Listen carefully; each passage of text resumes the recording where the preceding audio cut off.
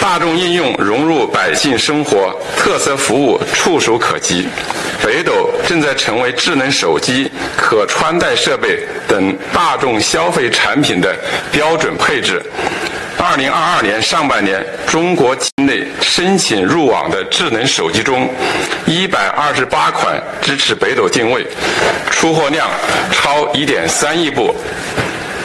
占上半上半年总出货量的百分之九十八以上。手机地图导航中，北斗定位服务日均使用量突破千亿次。